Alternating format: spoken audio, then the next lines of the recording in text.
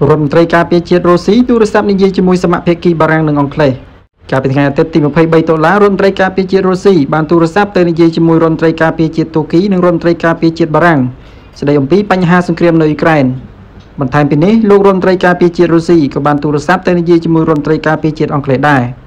ជាការបង្កើនការសន្ទនាផ្ទួនៗគ្នាជាមួយក្រុមប្រទេសប្រឆាំលោកដែលរុស្ស៊ីអះអាងថាដើម្បីប្រាប់រំលឹកឲ្យដឹងអំពីគ្រោះថ្នាក់ប្រសិនបើអ៊ុយក្រែននៅតែបង្ករឿង។ យោងតាមលិខិតប្រកាសរបស់ក្រសួងការពារជាតិរុស្ស៊ីចេញផ្សាយថ្ងៃអាទិត្យទី23តុលានៅក្នុងពេលនិយាយគ្នាជាមួយសមាភិកីបារាំងលោករដ្ឋមន្ត្រីការពារជាតិរុស្ស៊ី Sergei Shoigu បានថ្លែងលើកឡើងថាស្ថានភាពកាន់តែចុះដុនដាបខ្លាំងប្រសិនបើអ៊ុយក្រែននៅតែគំរាមបង្ករឿងមកលើរុស្ស៊ី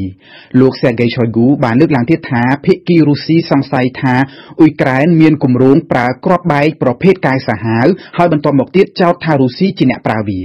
ដ្ឋមន្ត្រីការពារជាតិរុស្ស៊ីរូបនេះអះអាងទៀតថាគ្រាប់បែកប្រភេទកាច់សាហាវនេះអាចជាគ្រាប់បែកជាតិផ្ទុះធម្មតាតែផ្ទុកបង្កប់ដោយសារធាតុវិទ្យុសកម្ម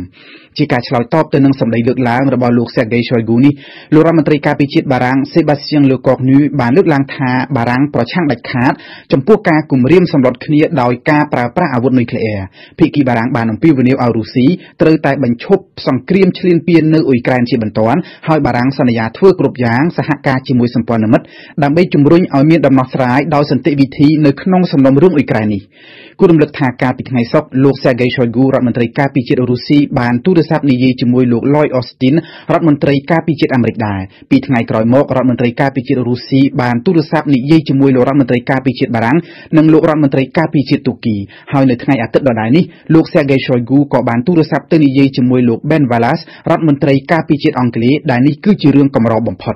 យ៉ាងណាក៏ដោយការទូរស័ព្ទទៅនិយាយជាមួយក្រុមប្រទេសលោកខាងលិចផ្ទួនផ្ទួនគ្នានេះគឺវាគប់ជួនចំពេលដែលនៅសមរភូមិឯណោះកងទ័ពរុស្ស៊ីកំពុងបរាជ័យជួបការលំបាកជាខ្លាំងជាងនេះទៀតរុស្ស៊ីបានអះអាងថាកងទ័ពអ៊ុយក្រែនបានបាញ់ផ្លោងគ្រាប់វាយប្រហារកាន់តែញឹកញាប់ទៅខាងទឹកដីរបស់ខ្លួន